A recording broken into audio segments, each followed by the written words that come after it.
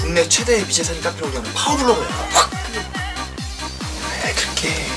부숴버릴 거야! 무슨 것도 없는 데 게 범인이라고 하면 안 되지 야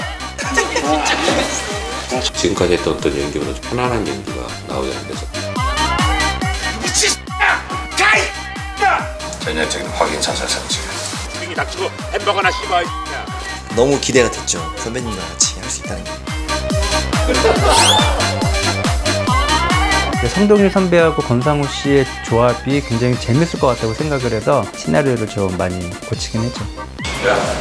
서로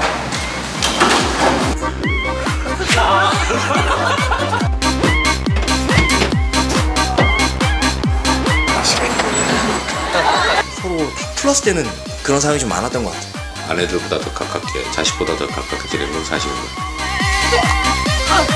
일어나. 그 호흡이 너무 웃겼죠.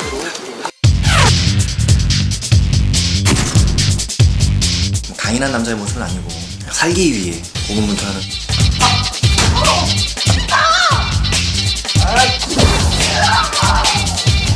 감사합니다.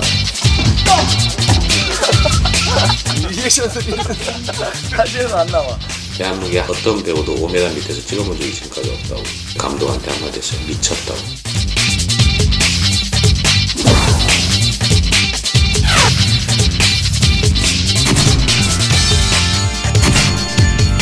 결혼한 여자가 사라졌을 때 가장 첫 번째로 지목되는 용의자가 남편이라고 하더라고요. 그거를 생각하면서 시작을 하게 됐던 것 같아요. 한심한 찐따 감독님이 철저하게 계산해서. 굉장히 설득력 있게. 그 사건 토대 위에 어떤 캐릭터가 그 사건을 수사하느냐가 저에게 굉장히 중요했거든요. 수백 명이 사는 아파트에다 그걸 왜 옮겨? 만화방 주인인 대만이가 파헤쳐 가는. 그리고 나는 그냥 불도저처럼 밀고 나가는 둘이가 아주 대비되는. 그 이런 것들이 굉장히 좀 재밌는 것 같아요. 관객 여러분의 허를 찌르러 가겠습니다 감정 화이팅.